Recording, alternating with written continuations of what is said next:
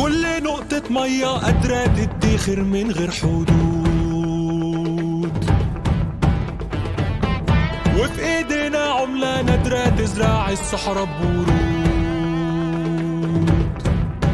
ليه تسيب المية ملحة والشجر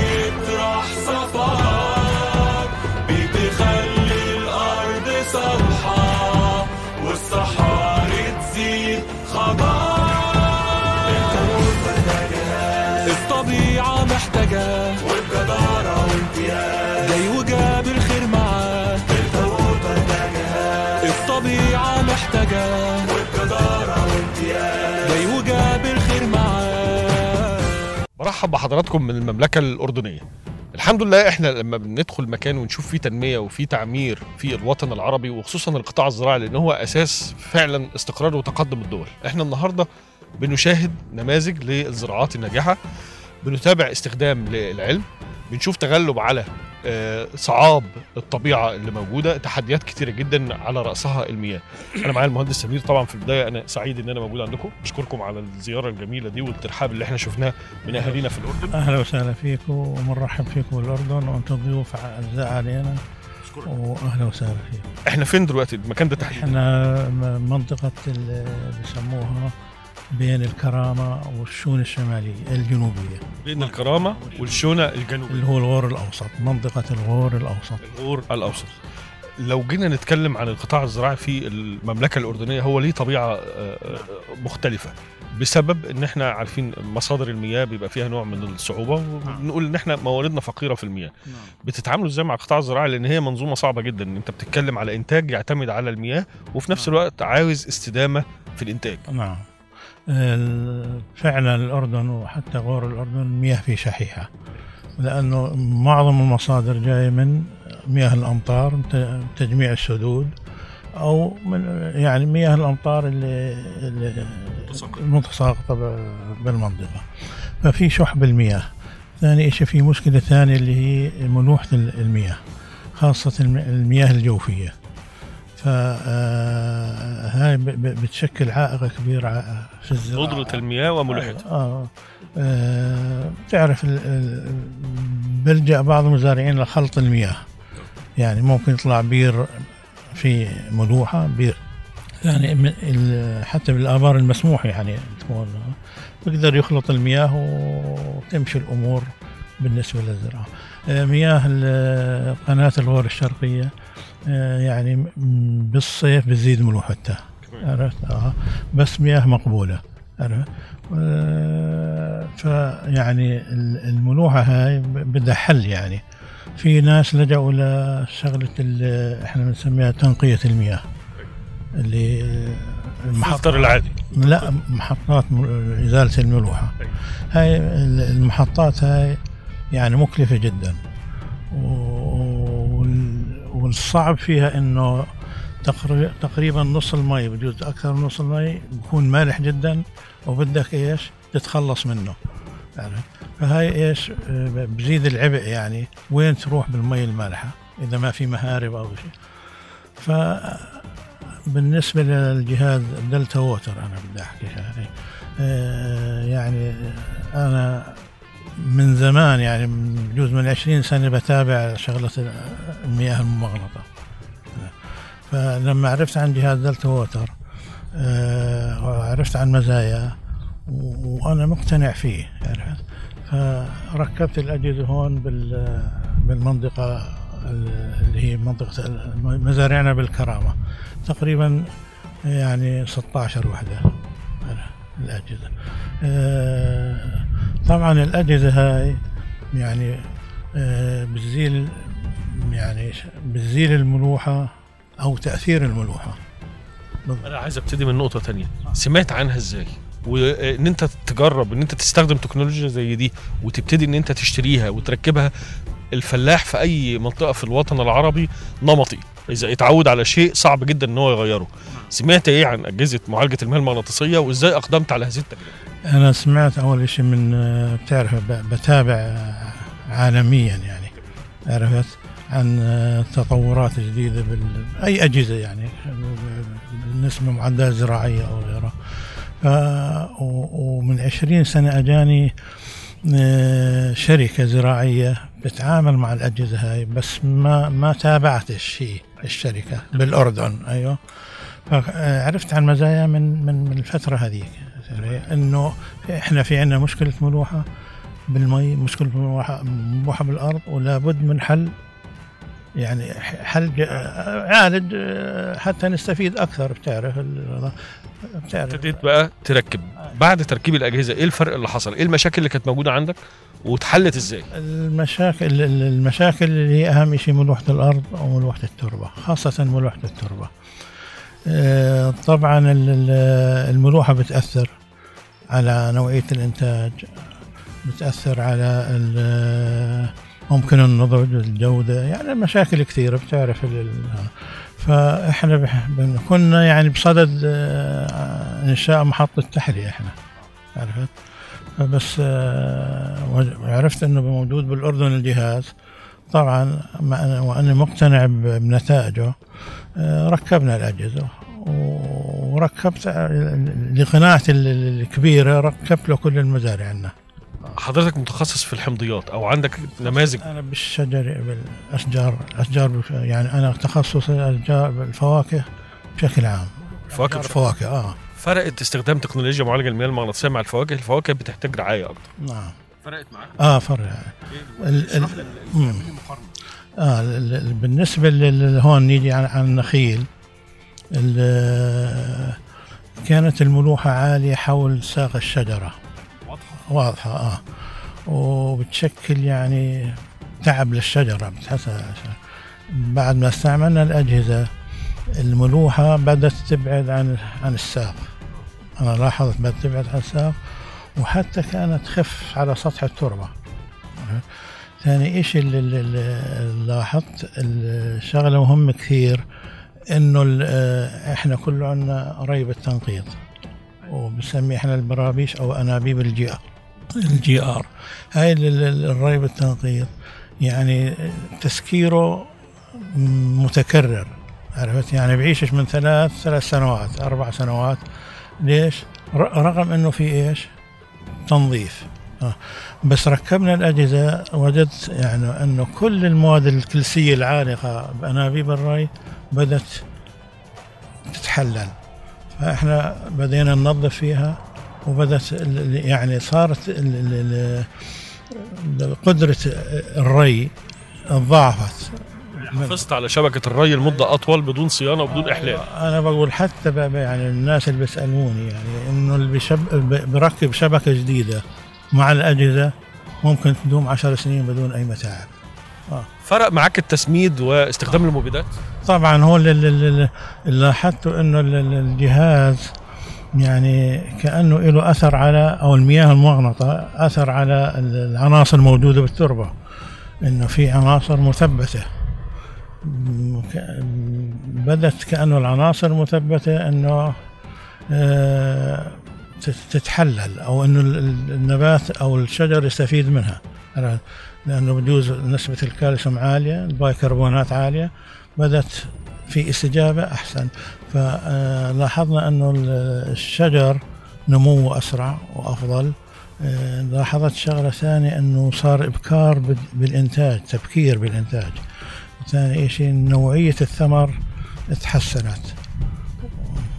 عاوز من حضرتك كمزارع مسؤول عن مشاريع كبرى في آه، المملكة الأردنية تقول لي كلمتين أو جملة عن آه، استخدام أجهزة Delta Water بالنسبة لمعالج المياه المغناطيسي هو ال- الجهاز يعني نقلة نوعية بالنسبة للأراضي اللي فيها ملوحة وفيها مياه وأرضها مالحة وبحسن ال- الإنتاج وبكر الإنتاج ويعني ممتاز كثير بالنسبة للي بيستعملوه. المشروع اللي حضرتك مسؤول عنه يا ريت تقول لي وصف ليه سريع. المشروع اللي عندنا هون تقريبا 16 وحدة نخل مجهول. منهن تقريبا 12 وحدة منتجة والباقي وبعده مش منتج.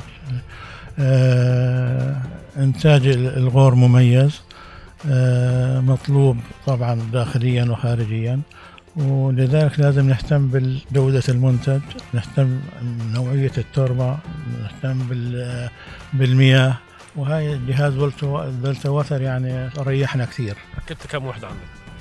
إحنا ركبنا هون 15 جهاز أو 16 جهاز. أشكرك وربنا يوفقك وإن شاء الله دايما الأردن من تقدم إلى تقدم ومزيد من الاستقرار. بشكر حضرتك يا باشمهندس سمير.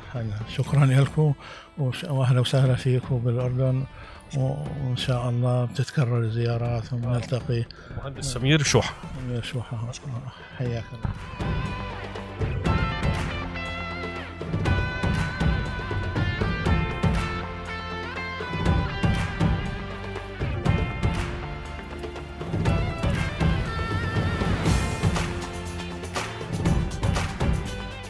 مشاهدي برنامج الزراعة العربية. برحب بحضراتكم مرة أخرى من المملكة الأردنية. لما نيجي نتكلم عن الوطن العربي لازم نبقى عارفين ومتأكدين أهمية الإنتاج والتنمية. لازم نبقى عارفين إن الوطن العربي ليه خصائص آه، مميزة ليه في القطاع الزراعي ومنها العاملين داخل هذا القطاع. في نفس الوقت إحنا بنتكلم على أماكن بتعاني من ندره في المياه أماكن بتعاني من نسبة ملوحة مرتفعة في المياه وفي التربة لكن المزارع العربي لا يتوقف. منتج دائما يحاول دائما إيجاد حلول آه، حديثة للاستفادة من كل قطرة مياه وتسخيرها من أجل الإنتاج. أنا سعيد وفخور. أول مرة أزور الأردن. أهلا وسهلا. فوجئت. بالترحاب. فوجئت بالأهالي الطيبة. أهلا وسهلا. شرفتوا. شرفت البلد فيكم. المكان ده اسمه إيه؟ هاي منطقة الأغوار الشمالية منطقة المشارع. ال- أنا ملاحظ إن هنا في تنوع آه، في الزراعه موجود عندنا زراعة محمية في صوب في نخيل في. موالح في خضار آه، آه، إحنا بنتعامل مع القطاع الزراعي هنا إزاي؟ أول شيء إحنا بنستخدم القطاع الزراعي هنا إحنا عندي كعنب رمان حمضيات بشتغل فيها نخيل نخيل البرحي المجهول ما بزبط هون بزبط بمناطق الجنوب لأنه عشان فرق الحراره المجدول ما بيمشيش معاك هنا عندك البرح بس. بس برحي. لو جينا نتكلم عن المياه إحنا بنتعامل طبعا مع المياه هنا في الأردن بنوع من الحرص. المياه غالية. آه علشان يبقى عندك آه، أبار دي محتاجة ترخيص وترخيص مكلف. مزبوط أكيد. طبيعة المياه وجودتها كان شكلها إيه في الزراعة؟ أنا عندي بستخدم قناة الملك عبد الله شايف؟ آه، الملوحة اللي عندنا لغايه 1200 من ما استخدمت جهاز Delta Water صارت الملوحة عندي لغاية 900 واختلفت عندي اصفرار كان أبين عندي على العنب اصفرار لكن من يوم ما استخدمت الجهاز الاصفرار هذا كنت أستخدمه أول شيء أعالجه بالأسمدة.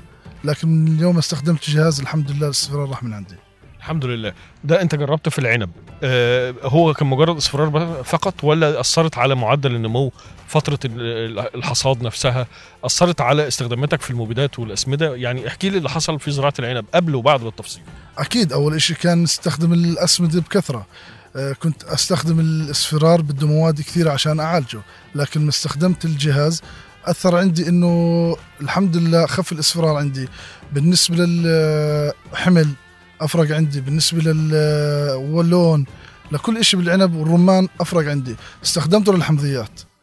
الحمضيات استخدمته أفرق عندي بالتصويغ بالإنتاجية الحمضيات بحجم الحب أفرق عندي من الأول بزيادة. تجربه استخدام الأجهزة دي بقى لها قد إيه؟ أنا بستخدمه لي سنة وشهرين. حسيت إن فعلا في مردود؟ أكيد أكيد. الرمان بيختلف عن العنب في الزراعة واحتياجاته المائية؟ بيختلف. أكيد العنب بده مية أكثر بده عناية أكثر من الرمان. أها. إنتاج الرمان عندك ارتفع أيضا؟ ارتفع. أنت النهارده وأنت في الأردن تسويقك بيبقى محلي فقط ولا بقى في تصدير في الاردن لا محلي. محلي. إيه مشاكلك في التصدير ما في مشاكل بس إنه التصدير عندنا له وقت معين شايف؟ مش دائما عندنا في تصدير لكن أنا بيع الأحسن محلي. محلي. لو إحنا حبينا نقول آه، تقول إيه للمزارعين؟ كراجل مزارع النهارده عن تجربة استخدام آه، استخدام الأجهزة المعالجة للمياه المغناطيسية. هل هي مجدية؟ آه، بالنسبة للعائد الاقتصادي فرقت معاك؟ أكيد أنا بنصح كل مزارع يتجه لجهاز التوتر لأنه أفرق عندي. أنا ما جر... أنا ما سمعت الناس لكن جربته. جربته عندي على الحمضيات جربته عندي على النخيل وجربته عندي على العنب والرمان. أفرق عندي كثير. وبنصح وفي جماعة أصحاب انه ركبوا له الخضرة أفرق معهم. أنا بنصح لكل واحد زارع إنه يتجه لجهاز Delta Water معدل الملوحة في المياه والتربة حللت بعد تركيب الأجهزة؟ أنا كنت أول إشي لما اسقي قبل جهاز Delta Water ألاقي ملوحة على سطح الأرض ملوحة خفيفة لكن من يوم ما استخدمت جهاز Delta Water هذا الإشي راح من عندي ما بطلت أس- اشوفه عندي. أشكرك وبالتوفيق. الله يسلمك. كل نقطة مية قادرة تدخر من غير حدود.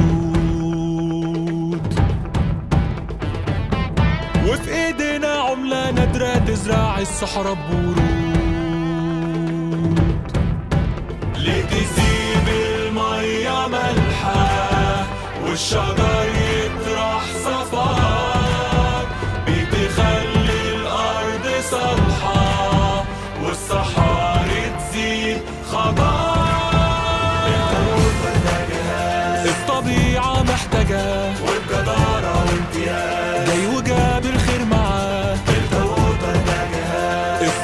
الطبيعة محتاجة. وبجدارة وامتياز جاي وجاب الخير معاه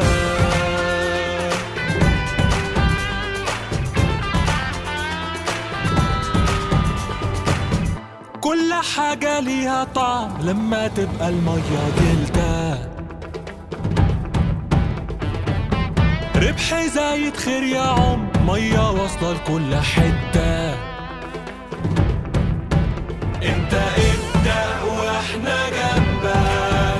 أيوه جنبك مش بعيد.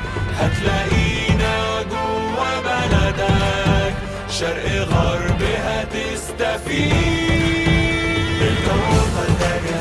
الطبيعة محتاجة وبجدارة وامتياز جاي وجاب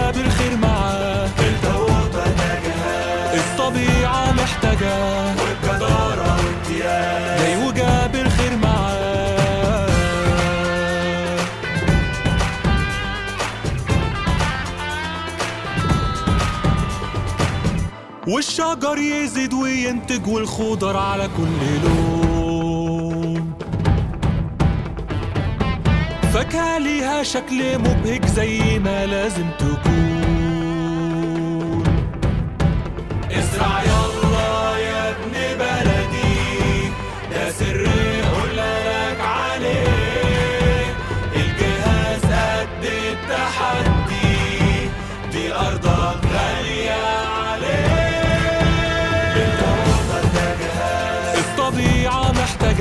محتاجة وبجدارة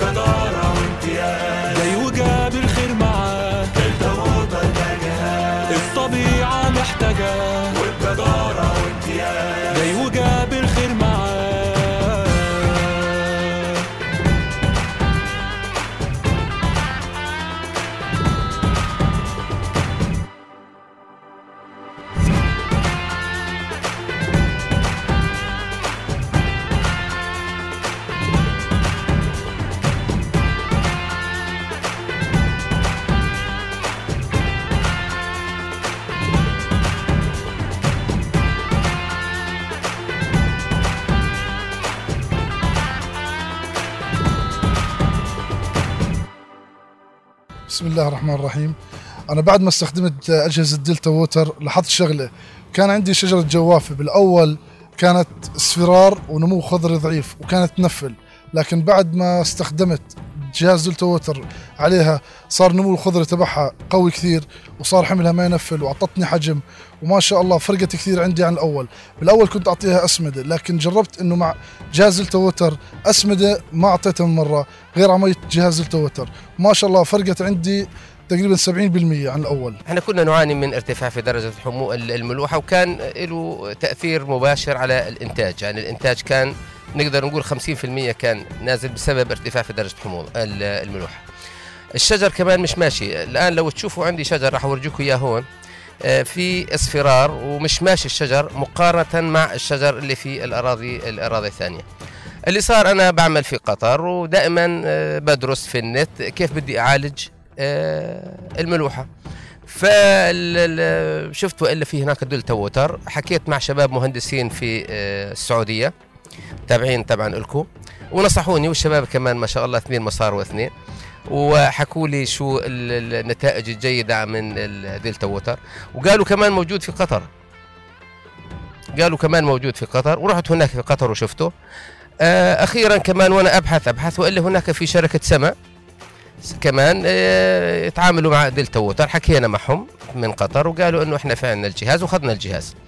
المهم إحنا ركبنا الجهاز تقريبا هون شهر وكان كثير كثير كويس. لكن أنا احتجته في الوحدة الثانية كوني أنا بدي ازرع بدي أزرع آه، خضروات وعندي شجر. آه، الحمد لله رب العالمين. بالنسبة لل آه، الإنتاج الإنتاج ممتاز جدا جدا. راح أقارنكم كمان ما بين الشجر اللي هون والشجر اللي هناك. ليش أنا جبتكم هون يعني؟ لأنه أنا هون راح تشوفوا وتصوروا وإن شاء الله أنا بدي أشتري جهاز أحطه هون. شايف؟ وتجوا بشهر سبعة وشهر ثمانية تصوروا هاي شجر الحمضيات عمرها سنتين. ما خلينا ولا بقينا من الأسمدة جميع أنواع الأسمدة. آه سواء كانت المروية وال- والرش كله آه أعطيناها إلا أنه الشجرة بقيت متقزمة. ليش؟ لأنه آه نسبة الملوحة عالية جدا.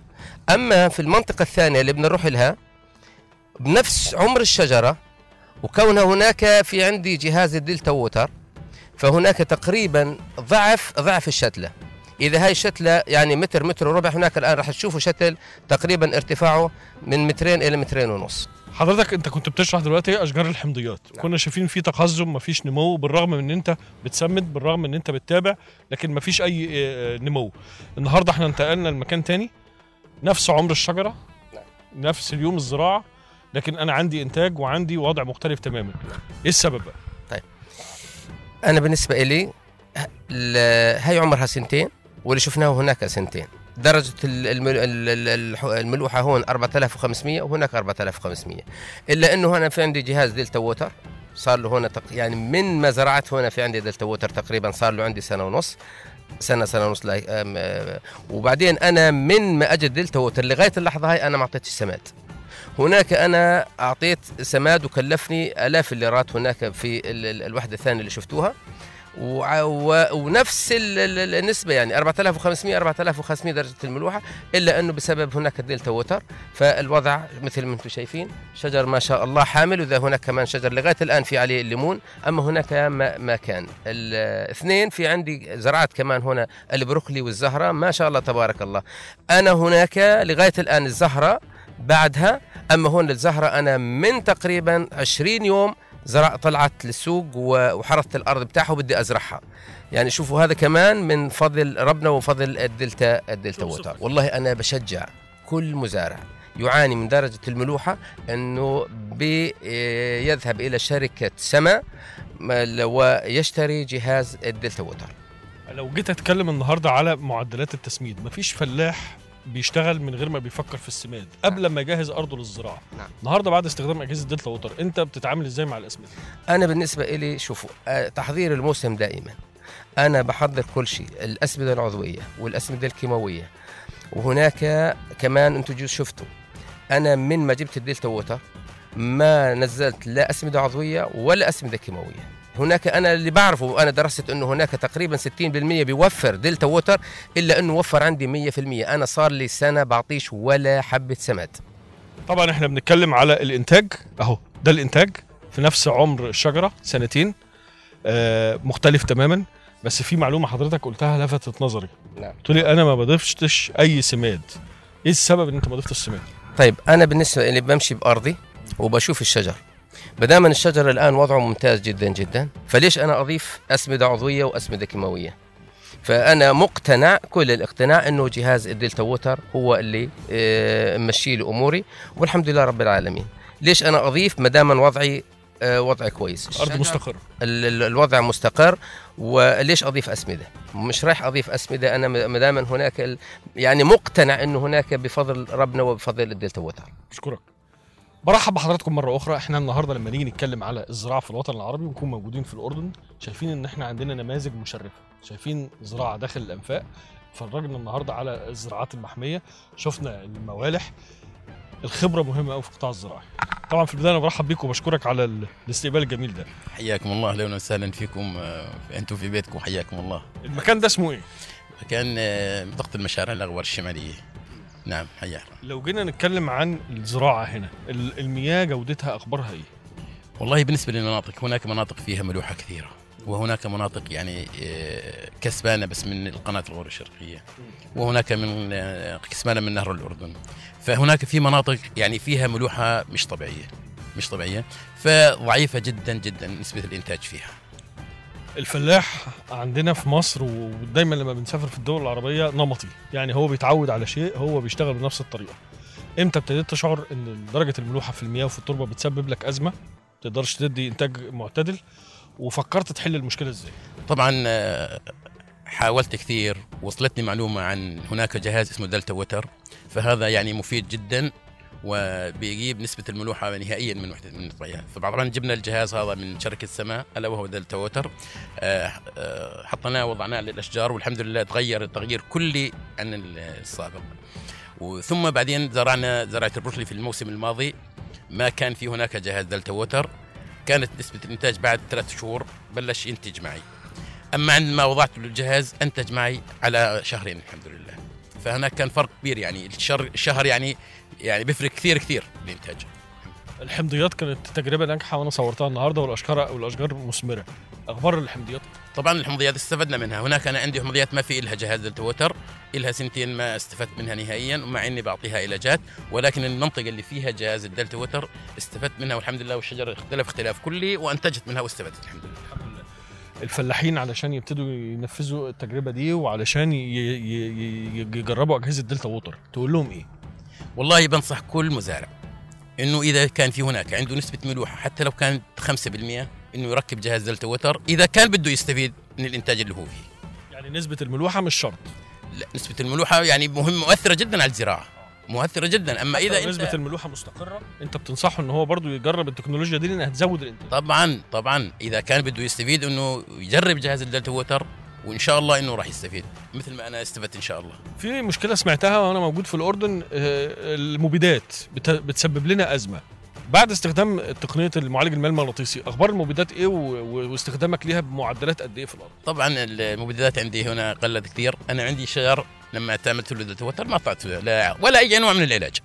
لا أسمدة ولا أي نوع من العلاج أعطيته بعد الدلتا ووتر والحمد لله وضعه ماشي والحمد لله. ولا فطريات واصابات أي ولا أي نوع من الفطريات الحمد لله. أشكرك. حياكم الله سيدي. كل حاجة ليها طعم لما تبقى المية دلتا ربح زايد خير يا عم مية واصلة لكل حتة. انت ابدأ وإحنا جنبك أيوه جنبك مش بعيد. هتلاقينا جوا بلدك شرق غرب هتستفيد الجو محتاجها الطبيعة محتاجة والجدارة وامتياز جاي وجاب